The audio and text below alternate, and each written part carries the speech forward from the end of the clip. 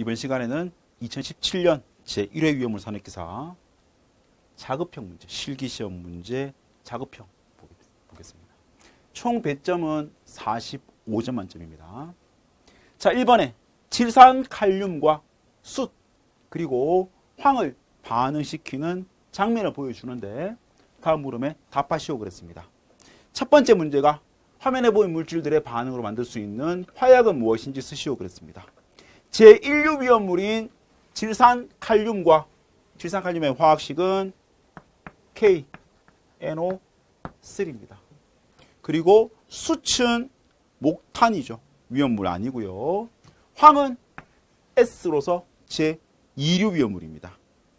그런데 1류 위험물이기 때문에 2번 문제 먼저 보세요. 화면에 보인 물질들 중에서 질산칼륨의 역할을 쓰시오. 제1류 위험물이니까 산소 공급원이 되겠죠. 2번 문제의 답은 산소 공급원이고 만약 황의 역할을 물으면 가연물 이렇게 답을 쓰시면 되는데 자, 이 세 가지 질산칼륨과 황과 수채, 혼합물은 흑색 화약이 된다. 이렇습니다. 그래서 답은 흑색 화약이 답이 됩니다.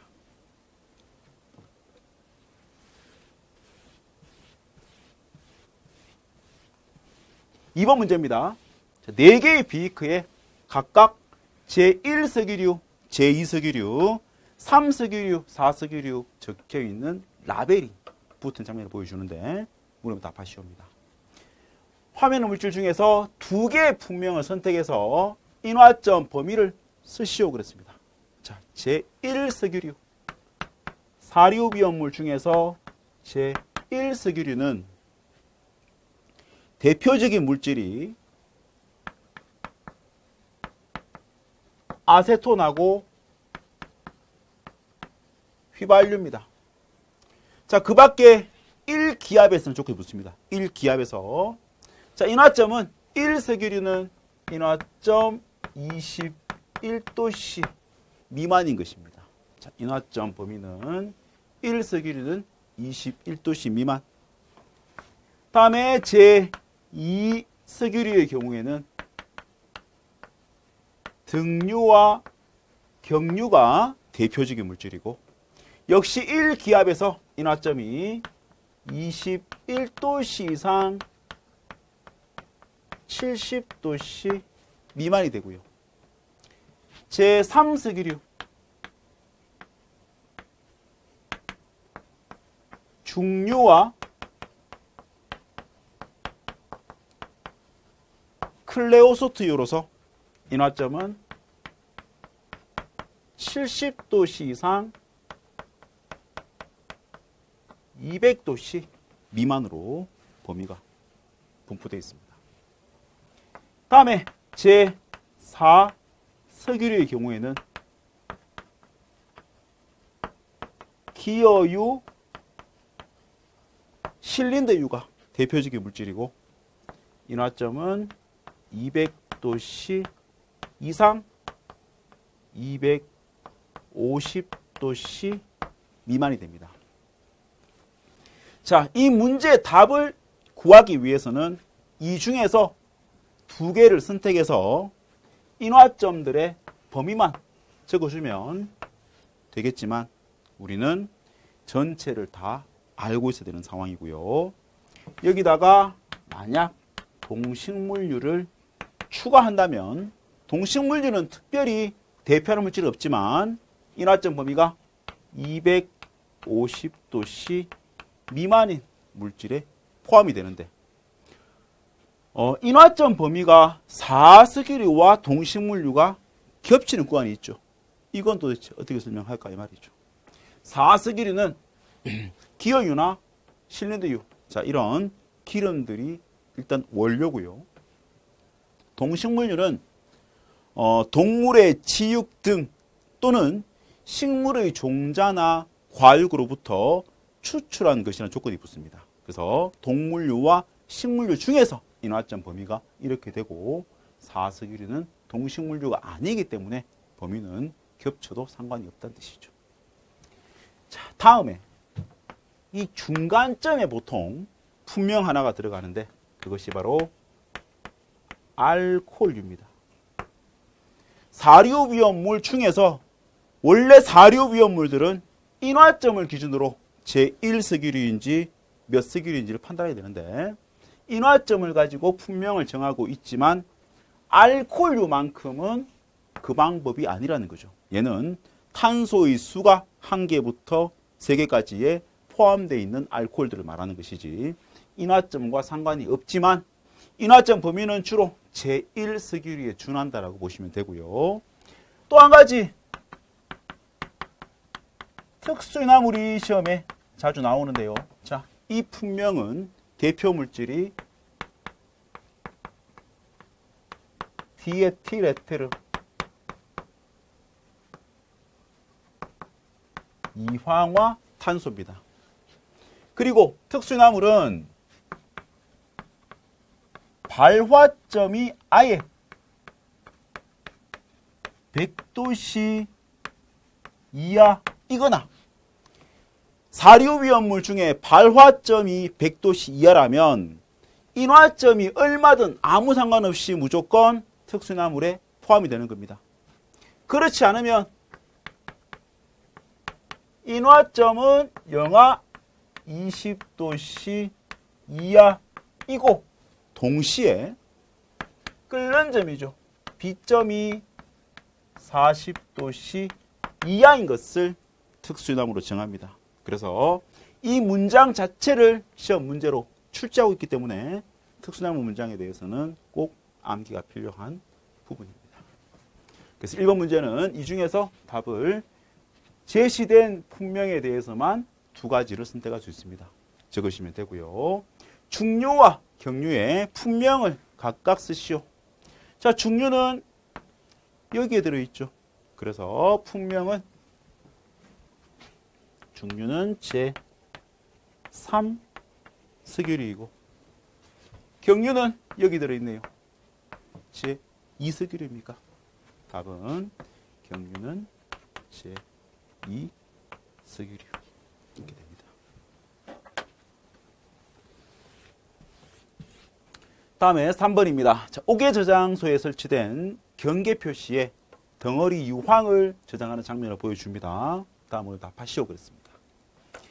자, 옥외 저장소란 건축물 바깥쪽이겠죠. 건물 밖에다가 울타리를 쳐놓고 그 안에 위험물 용기나 드럼 등을 저장하는 장소입니다. 그런데 이류 위험물인 유황을 덩어리 상태로 저장을 하고자 할 때 옥외 저장소 아무렇게나 넣어둘 수는 없고요. 이 안에다가 다시 한번 경계 표시를 따로 하게 되는데 그 경계 표시의 내부의 면적이 이 면적이 얼마인지를 쓰라는 겁니다. 이 면적은 100제곱미터 이하로만 설치를 해야 하고요. 그리고 이 경계 표시들을 여러 개 설치할 수가 있는데 하나의 옥외 저장소 안에 설치할 수 있는 경계 표시는 그 내부 면적만을 다 더한 값이 1000제곱미터 이하가 되어야 한다는 조건도 따로 있습니다. 두 번째 문제는 경계 표시의 높이는 몇 미터 이하인지 쓰시오. 자, 이 옥외 저장소의 경계 표시가 아닙니다. 덩어리 상태 유황을 저장하는 경계 표시의 높이는 5m 이하로 합니다. 그리고 경계 표시의 재질도 불연 재료 이것도 가끔 묻기 때문에 재질도 불연 재료 한다. 이렇게 알아두셔야 되는 부분이죠. 4번 문제는 염소산 나트리움을 저장하는 옥내 저장소의 장면을 보여주는데 다음 물음에 답하시옵니다. 자, 염소산 나트륨은 제1류 위험물이고 품명은 염소산 염류라고 분류됩니다. 지정 수량이 50 kg이고요. 자, 화학식은 NaC 죄송합니다. 이렇게 적어 볼게요. 어, Na 이게 나트륨이고요. ClO3가 염소산 이렇게 붙습니다. 그래서 염소산 나트륨 화학식은 NaClO3입니다. 자, 이 물질은 질산이든 염산이든 황산이든 초산이든 이렇게 산이 붙어 있는 물질 여기서 말하는 것이 바로 이 산이 얘들을 의미하는 겁니다. 자 이렇게 되면 유독 기체가 발생하는데 이것이 바로 ClO2라는 화학식을 가지고 있고 얘는 명칭이 뒤에서부터 앞으로 읽어줍니다. 숫자 2 그리고 산소의 산 소를 떼고 화를 붙여서 이산화 앞에 있는 것이 염소가 되겠죠. 따라서 독성 기체인 ClO2 즉 이 문제의 답은 이산화 염소가 되겠습니다. 두 번째는 염소산 나트륨을 저장하는 하나의 옥내 저장 창고의 바닥 면적은 얼마 이하인지 쓰시오 그랬습니다. 자, 바닥 면적도 굉장히 중요한 부분이고요. 정리 한번 하겠습니다. 옥내 저장소에 대해서 바닥 면적은 우리 위험 등급만 좀 알고 있으면 굉장히 쉬워지는데 옥내 저장소의 바닥 면적은 1000제곱미터 이하로 해야 하는 경우와 2000제곱미터 이하로 해야 하는 경우로 구분을 합니다. 먼저 제1류 위험물의 경우에는 지정 수량이 가장 적은 물질들 50kg짜리들이죠. 자, 아, 염소, 산, 염류 그리고 염소산, 염류 또 화, 염소산, 염류 그 다음에 무기, 과산화물 해서 얘들이 제1류 위험물에 속하는 지정 수량 50kg, 위험 등급은 1 이렇습니다. 위험하니까 바닥 면적을 미리 좁게 만들어 놔서 화재가 발생해도 많은 양이 아니기를 미리 예방한다는 개념에서 이렇게 법을 만들었다 보시면 되고요. 이류 위험물에는 위험 등급 1이 아예 없기 때문에 이류 위험물 중 바닥 면적을 1000제곱미터 이하로 하는 물질은 아예 없습니다. 자, 3류 위험물 보죠. 얘들은 1류 위험물이고요. 그 다음에 3류 위험물의 경우에는 지정 수량 10kg의 물질들 칼륨, 나트륨, 알킬 리튬, 알킬 알루미늄이 지정 수량 10kg이고 그리고 황린까지가 지정 수량 20kg 위험 등급 1입니다. 얘들을 바닥 면적 1000제곱미터 이하에 저장하고요. 다음에 사료 위험물은 위험 등급 1이 특수 피나물이죠. 지정 수량 50리터짜리. 그런데 사류 위험물만큼은 위험 등급 2에 속하는 제1석유류와 알코올류까지도 바닥 면적 1000제곱미터 이하에 저장합니다. 그 다음에 오류 위험물은 위험 등급 1이 유기 화산화물 다음에 질산 에스테르죠. 얘들 둘 다 지정 수량 10kg이면서 위험 등급 1입니다. 그 다음에 육류 위험물은 전부 다, 제 육류 위험물은 몽땅 다 지정 수량 300kg으로서 위험 등급 1이기 때문에 얘들은 다 바닥 면적 1000제곱미터 이하에 지정하고요. 여기에 포함되지 않은 그 나머지 것들은 다 바닥 면적을 2,000제곱미터까지 가능하다라고 보는 겁니다. 그런데 이 두 가지의 물질을 여기에 해당하는 물질과 여기에 해당 물질을 두 개 동시에 저장할 때는 기준이 어딜까요? 예를 들어서 어, 제 2류 위험물 중에서 유황, 황은 바닥 면적 2,000제곱미터 이하에 저장합니다. 그리고 인류 위험물 중에서 염소산, 염료의 경우에는 1000제곱미터 이하에 저장하죠.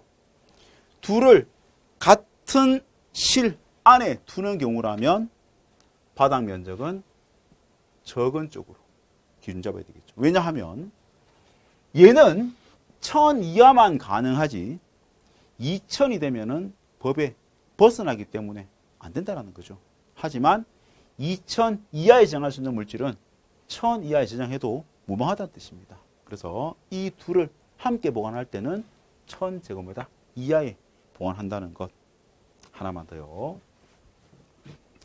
자, 그 다음에 우리 방금처럼 얘랑 황을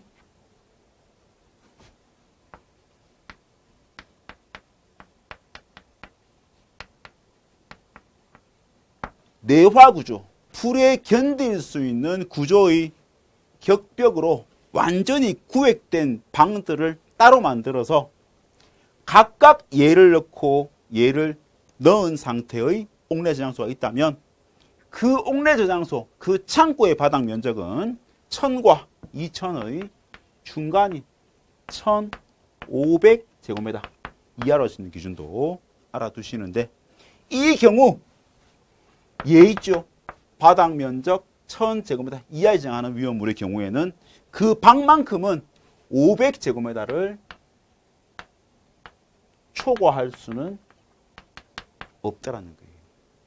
그 면적을 더 좁혀야 되십니다. 이것은 아직까지 한 번도 출제가 되지 않았는데 앞으로는 될 확률이 있는 문제이기 때문에 참고해 두시면 좋겠고요. 자, 두 번째 문제는 염소산 나트륨, 염소산 염류에 포함됩니다. 여기에는 염소산 염류에는 염소산 칼륨도 있고 염소산 나트륨도 있고 염소산 아모늄도 있고요. 얘들을 다 통틀어서 이렇게 품명으로 정하고 있기 때문에 이 물질은 창고 바닥 면적이 얼마 이하인가? 얼마, 얼마입니까?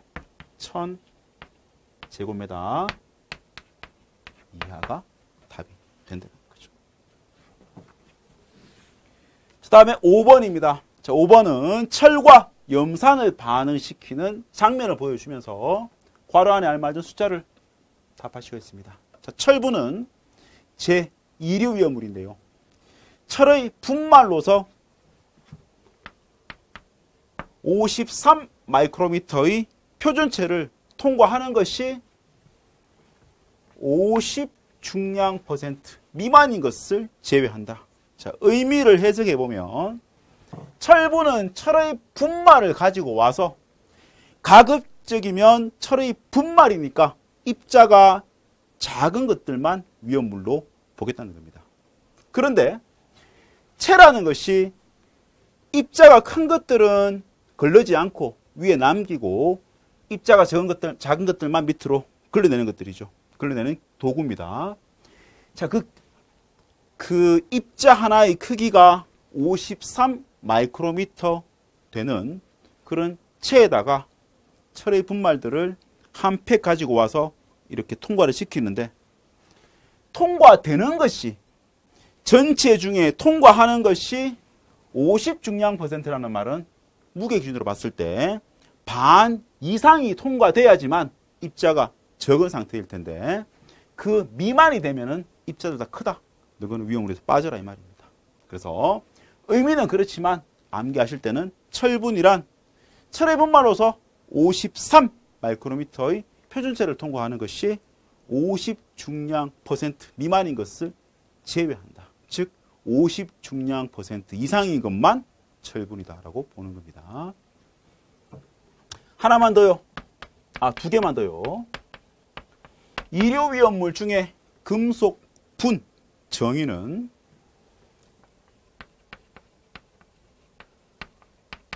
알칼리 금속과 알칼리 토금속 얘들은 삼류 위험물입니다.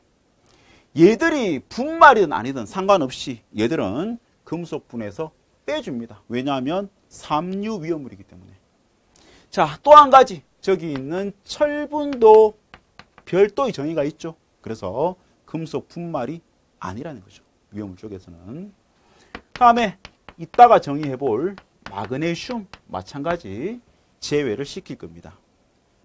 자, 이것들을 다 제외를 한 상태에서 또 한 가지는 구리하고 니켈의 경우에도 입자가 아무리 적어도 얘들도 이류 위험물 중 금속분에는 포함되지 않는데 자 구리를 자주 묻거든요. 위험물 맞나 아닌가에 대해서 이럴 경우에는 구리의 화학식이 CU이다 보니까 자 CU는 편의점이지 위험물이 아니더라고 외우시면 기억에 좀 남아 있을 겁니다.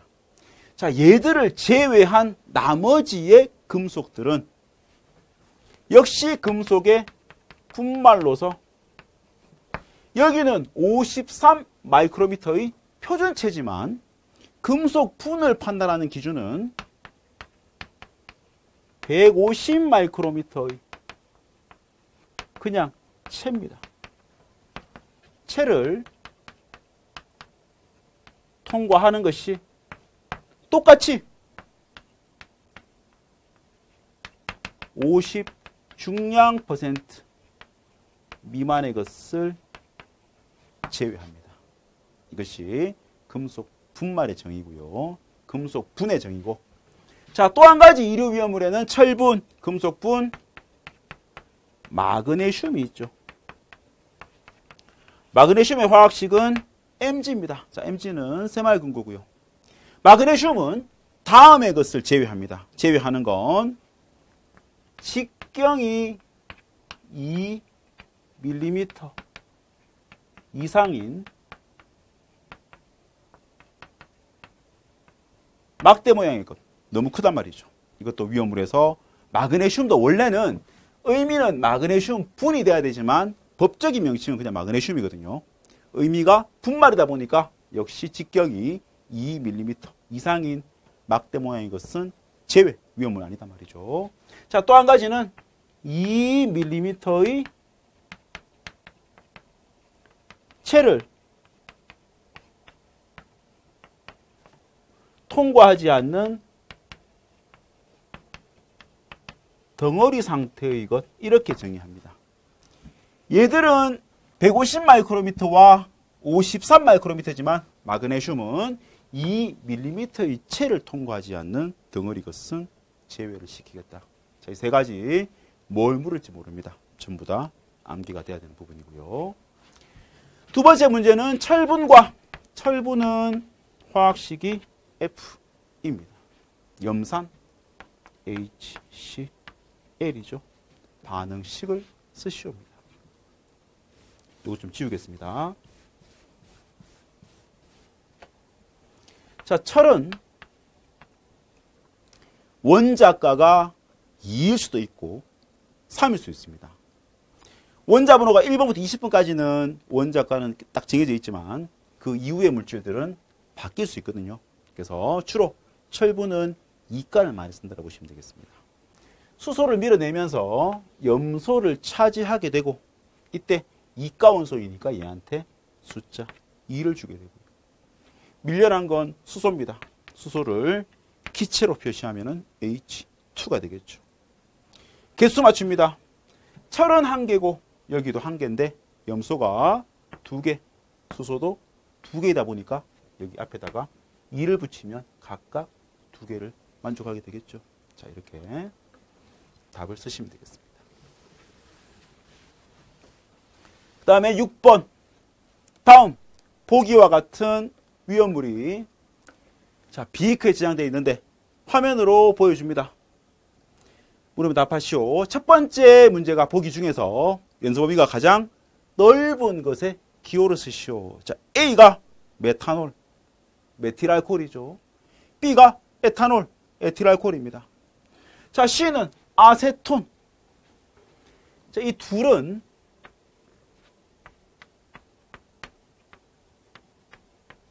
알코올류에 포함되고요. 아세톤하고 가솔린 이 두 가지는 제 1석유류 물질입니다. D, 디에틸에테르는 특수인 화물이죠. 그런데 1번 문제의 경우에는 디에틸에테르가 답이 되겠죠. 왜냐하면 연소 범위가 가장 넓다라는 말은 불 붙을 수 있는 범위가 제일 크단 말이잖아요. 그래서 답은 D가 되는데 굳이 이 문제에서는 디에틸에테르의 연소 범위가 1.9에서 48%라는 걸 몰라도 특수나물이기 때문에 가장 위험할 것이다. 답을 찍을 수가 있겠죠. 하지만 이 연소 범위는 중요하기 때문에 꼭 암기를 하셔야 됩니다. 2번은 보기 중에서 제1석유류를 모두 쓰시오. 1석유류는 C, 아세톤과 E의 가솔린입니다. 자, 화학식 한번 써볼까요? 메탄올은 CH3OH고 에탄올은 C2H 다섯 개 OH입니다.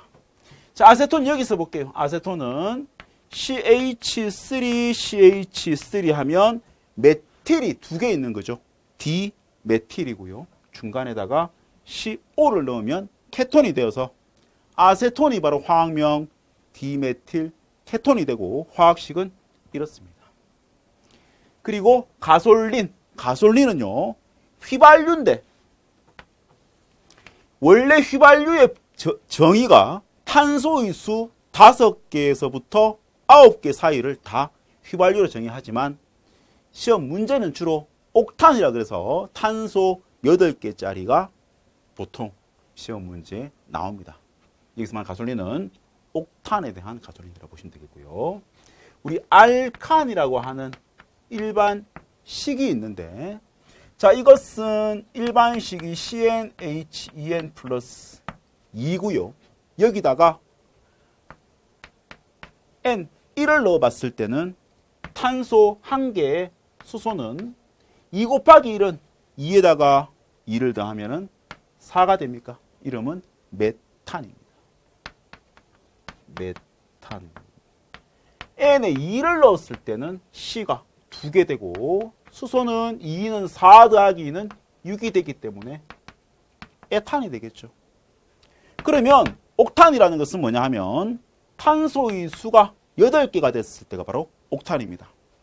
C가 8개. H는 8 곱하기 2는 16에다가 2를 더하면 18. 이게 바로 옥탄이죠. 자, 앞으로 옥탄인 휘발유의 화학식을 암기하실 때는 여기입니다. 또박또박 천천히 크게 읽어주세요. 18H, 18이 되겠죠. 이게 바로 옥탄인 휘발유를 의미한다라고 외우시면 되겠습니다. 답은 C와 E가 되고요. 세 번째, 보기 중에서 증기가 가장 가벼운 것을 쓰시오 했습니다. 증기의 비중이라는 것이 있는데 자, 이것은 우리 보통 비중이라고 하면 고체나 액체의 경우에는 물을 기준으로 물보다 가벼우면 비중이 1보다 작다. 물보다 무거우면 비중이 1보다 크다는 얘기한단 말이죠. 그런데 증기의 비중은 기체를 뜻하는 것이고 기체는 물과 판단하는 것이 아니라 공기입니다. 그래서 공기의 분자량, 공기는 29라는 숫자를 가집니다. 이거 외워주시고요. 29분의 해당 물질의 분자량. 이 값이 만약에 1보다 크면은 그 물질의 증기는 공기보다 무거운 것이고 1보다 작으면 증기는 가벼운 것이다. 공기보다. 이렇게 판단한다는 얘기죠. 그러면 이때는 값을 구하는 게 아니라 가장 가벼운 것이니까 비교하는 거죠. 그러면 결국 분자량이 제일 적은 것이 답이 되겠습니다. 자, 우리 탄소 수만 봐도 알 수 있겠죠. 몇 개입니까? 메탄올 한 개죠. 그래서 A가 가장 분자량이 작단 말이에요. 나머지는 다 탄소가 8개씩, 3개씩 된단 말이죠. 4개씩. 이렇게 답을 정리할 수 있겠습니다. 7번입니다. 과산화수소와 이산화망간을 혼합한 다음에 발생기체를 따로 빼내어 마그네슘 리본에 풀을 붙이는 장면을 보여줍니다. 물음에 답하시오. 과산화수소는 화학식이 H2O2입니다. 제 육류위험물이고 분해 반응식이니까 자기 혼자 분해를 한다는 뜻이죠. 그런데 화면상에 보니까 이산화 망간이 포함되어 있네요. 저건 MnO2가 바로 이산화 망간입니다. 그리고 이렇게 표시하는 이유는 이산화 망간이 촉매 또는 정촉매로 작용하기 때문이고 이 역할은 반응 속도를 빠르게 만들어주는 역할입니다. 그래서 촉매를 표시하지 않는다고 한다면 얘를 빼면 되고요. 촉매가 있으면 이렇게 넣어서 여기까지만 표시하도록 하겠습니다. 자, 이렇게 넣어서 분해를 시키면 육류 위험물이기 때문에 분해하면 산소가 발생하게 되고 H2O라는 것이 물인데 산화수소가 되겠죠. 원래는 산화수소였던 것이 산소가 한 개 더 과해서 과산화수소였다는 얘기죠. 그래서 다시 한번 분해를 시키면 원상 복구되면서 산화수소와 함께 산소가 발생하게 되는데 수소의 개수 두 개, 여기도 두 개. 산소 두 개인데 여기는 하나, 둘, 세 개니까 0.5를 곱해서 개수를 맞추라는 거죠. 이게 분해 반응식이고요. 두 번째는 이때 마그네슘이 더 활발하게 연소하는 이유를 쓰시옵니다. 자, 마그네슘은 그냥 공기 중에서 산소를 반응시켜 불을 붙일 수 있겠지만 육류위험물과 함께 넣어서 육류위험물을 분해를 시키면 산소가 발생했겠죠. 그러면 이 산소가 마그네슘을 더 활발하게 연소를 시키는 거란 말이죠. 그래서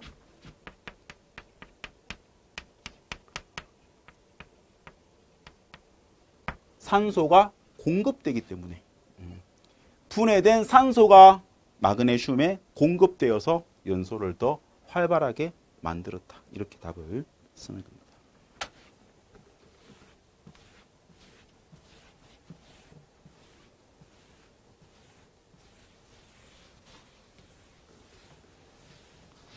(8번) 만 리터의 아세트산이 저장된 드럼을 겹쳐 쌓아놓은 옥외 저장소와 부근에 설치된 건축물 하나 보여주는데 다음으로 답하시오 그랬습니다. 화면에 보인 드럼의 최대 적재 높이는 얼마 있으시오 그랬습니다. 자, 아세트산 화합식은 CH3COH고요. 이 물질은 제4류 위험물 중 제 2 석유류 물질입니다. 그리고 저장을 할 때 용기를 겹쳐 쌓는 기준은 이렇습니다. 옥외 저장소나 옥내 저장소 동일하게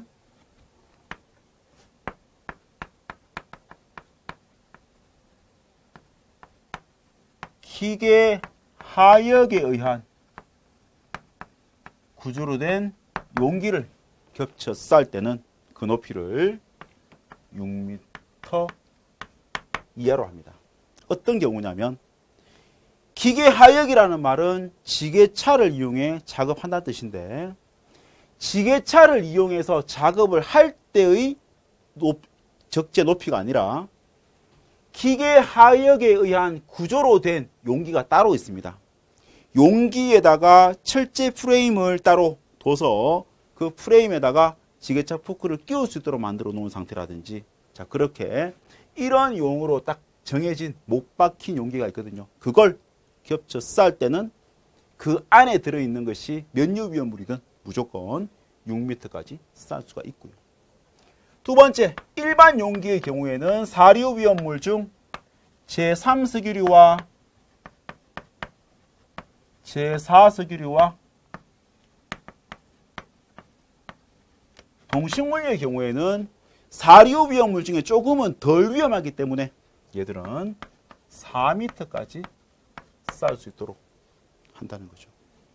그리고 사류 위험물을 떠나서 이 세 가지를 제외하고 1류든 2류든 모든 위험물에 대해서는 얘들을 제외하고는 3m까지밖에는 쌓을 수가 없습니다. 그런데 옥외 저장소와 옥내 저장소에 대해서 만약 선반을 이용해서 용기를 넣어서 쌓아둔다면 높이를 옥외 저장소 선반은 6m까지 쌓을 수가 있습니다. 선반이라는 건 구조물이죠. 안전한 구조물에다가 용기를 넣어서 올리는 그런 개념입니다. 그래서 선반을 이용해서 옥외 저장소는 6m 이하지만 만약에 옥내 저장소에서 선반 설치한다 그러면 이건 제한 없음이라고 답을 하셔야 된다는 거죠. 이유는 선반은 이렇게 생겼습니다. 자, 그림은 잘 못 그리겠는데. 자, 이렇게 해서 자, 이런 어떤 받침대를 둬서요. 여기다가 용기를 넣어두는 거죠. 그럼 이걸 옥 외에 옥 외의 저장소에 저장을 한다면 얘가 너무나 안정하기 때문에 높이를 계속 높여도 상관은 없는데 옥에는 위에 어떤 제한시킬 수 있는 부분이 따로 없기 때문에 만약 이 높이를 두지 않으면 무한정 올릴 수가 있겠죠. 그러면 위험하기 때문에 옥외 저장소에서는 6m 이하로 제한을 하고요. 옥내 저장소는 건축물이다 보니까 건물 안에 지붕이 있단 말이죠. 어차피 아무리 높여도 지붕 때문에 부딪히게 된단 말입니다. 그래서 더 높일 수 없는 상태가 되기 때문에 옥내에서는 굳이 높이를 제한하지 않아도 자동적으로 막힌다는 거죠. 따라서 법에서는 이렇게 두 가지를 정리하고 있다는 부분 알아두시고요. 자, 이 내용은 법에는 따로 나와 있지 않아서 해석을 통해서 나온 답이지만 시험에서 2016년 혹은 7년도에 한번 나왔습니다. 옥내 저장소의 선반 높이가. 그래서 꼭 알아둬야 할, 염두에 둬야 할 부분이라는 얘기죠. 자, 높이는 아세트 산이고 선반도 아닌 기계 하역 구조도 아니기 때문에 제3석유류, 4석유류, 동식물류가 아니라 제2석유류라서 어디 포함됩니까? 그 밖의 경우에 포함돼서 답은 3m 이하로만 적재할 수 있다. 이 말이고요. 다음에 옥외 저장소와 건축물과의 최소 거리는 자 이걸 그림으로 표시해 보면 이렇습니다. 옥외 저장소는 이렇게 울타리를 쳐놓고 위험물을 넣어두는 거죠. 근데 이 옆에 다른 건축물이 한 개 더 있단 말입니다. 그럼 얘랑 얘랑의 거리를 묻는 거죠. 이게 뭐냐 하면 옥외 저장소의 보유 공지라는 겁니다. 뭘 두지 말고 반드시 비워둬야 할 부지의 너비라는 얘기죠. 그러면 옥외 저장소 보유 공지는 지정 수량의 10배 이하 10배 초과 20배 이하입니다. 20배 초과 50배 이하 50배 초과 200배 이하 200배 초과입니다. 이렇게 해서 3단 9구단 3일은 3, 3이 6이 아니고 3이 5입니다. 앞으로 3 곱하기 2는 5입니다. 무조건 3, 5, 9, 12, 15m 이상의 너비를 둔다는 거예요. 자, 제2석유류 중에서 아세트산, 초산은 수용성 물질이라서 지정수량이 2000리터입니다. 그런데 저장된 양은 만 리터이기 때문에 이걸 2000리터로 나눠주면 몇 배가 나오죠? 지정 수량의 5배가 되죠. 그렇다면 옥외 저장소에서 지정 수량의 5배라면 어디 포함됩니까? 10배 이하에 포함되겠죠. 그래서 고유공지는 양 사방으로 3m를 비워두게 됩니다. 따라서 이 거리도 역시 3m 이상은 확보를 하라는 뜻이 되겠죠. 9번입니다. 자, 높이가 15m이고 지름이 5m인 옥외 탱크 저장소와 그 탱크를 둘러싸고 있는 방위제를 보여주는데 물음에 답하시오 그랬습니다. 첫 번째 문제가 옥외 저장 탱크의 판으로부터 방위제까지 시도를 얼마인가 물었습니다. 자, 이건요. 탱크를 위에서 바라봤을 때 탱크 모양은 이렇습니다. 그리고 그 주위에 두기죠. 방유제를 설치를 했는데 첫 번째 문제가 뭐냐 하면 탱크 옆판으로부터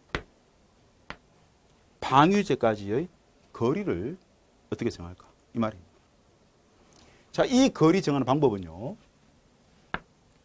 탱크의 지름 기준인데 탱크의 지름이 15m 미만인 경우에는 탱크의 높이에다가 3분의 1을 곱한 만큼을 여기에 거리를 두면 됩니다. 최소한 그리고 만약 지름이 15m 이상이라면 탱크 높이에 2분의 1을 곱한 것만큼을 여기에 적용할 수 있거든요. 만약에 지름이 15m였다. 그러면 어떻게 할까요? 15m 미만이 아니라 15m 이상에 포함됩니다. 근데 시험 문제는 지름이 5m라고 되어 있죠. 그러면 지름은 15m 미만이고 높이가 15m니까 탱크 높이 15m에다가 곱하기 3분의 1을 하면 5m가 됩니까? 따라서 여기에는 5m 이상의 거리를 확보하라는 뜻입니다. 답은 5m 최소 거리가 되는 거죠. 그 다음에 방유제입니다. 자, 방유제 높이는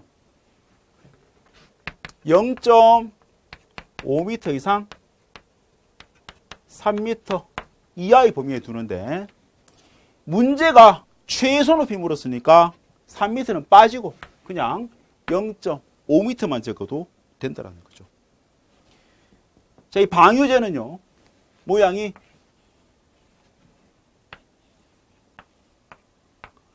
이렇게 생긴 툭인데 이 안에다가 탱크들을 설치를 해놓는 겁니다.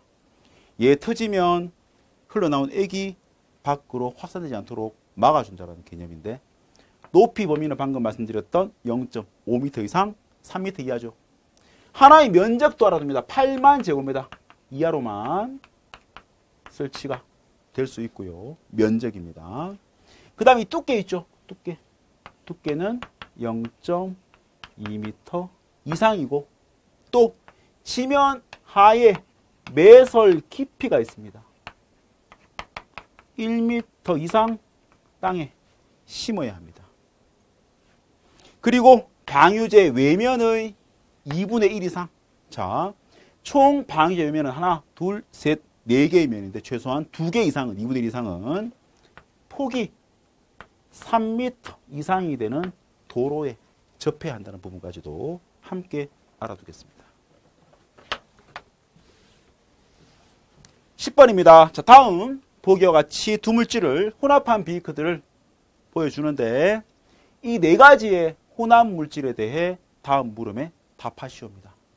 자, 보기를 보시면은 나트륨과 석유가 있고 알킬 리튬과 물이 있습니다. 또 황린과 물도 있고 니트로 셀룰로스와 물이 있는데 자 먼저 1번 문제가 보액의 관계가 아닌 물질끼리의 혼합은 어느 비크인지 그 기호를 쓰시옵니다. 칼륨, 나트륨은 삼류 위험물 중에서 물보다 가벼운 금속들이라 석유 속에다가 보관을 하게 되는데 이때 석유로는 등유, 경유, 유동 파라핀이 그 종류가 됩니다. 보액 맞고요. 3번에 황리는 자연발화성 물질 삼류 위험물이고 어디 보관합니까? 자연발화 방지하기 위해서 물속에 보관합니다. 오류 위험물인 니트로셀룰로스는 주로 오류 위험물 중에 고체들은 수분에 적시면 안정한데 니트로셀룰로스라는 오류 위험물인 고체는 물 또는 알콜 이걸 합해서 함수 알코올이라고 부르겠죠. 물이나 알코올에 다 안정하기 때문에 보액으로 쓰입니다. 그런데 삼류 위험물 중에서 금수성 물질인 알킬 리튬과 물이 반응하게 되면 가연성 가스를 발생하기 때문에 절대로 물을 금지해야 할 조합이라는 거죠. 답은 B가 되고요. 그 다음에 두 번째 문제는 C, B 거의 위험물이 공기 중에서 연소했을 때 발생하는 가스의 화학식을 쓰시오 했습니다. 자, 얘는 답을 여기다 한번 써보겠습니다. C가 황린이죠. 황린은 P4입니다. 이것이 연소를 하게 되면 P가 O를 만난다는 개념인데 P는 플러스 5원자가 5가 원소라서 얘한테 숫자 5를 주게 되고 산소는 2가 원소라서 얘한테 2를 줘서 P2O5 이름은 오산화인이라는 흰색 연기입니다. 자, 반응식을 쓰라고 하면 이걸 완성을 해야 되겠죠. P 몇 개입니까?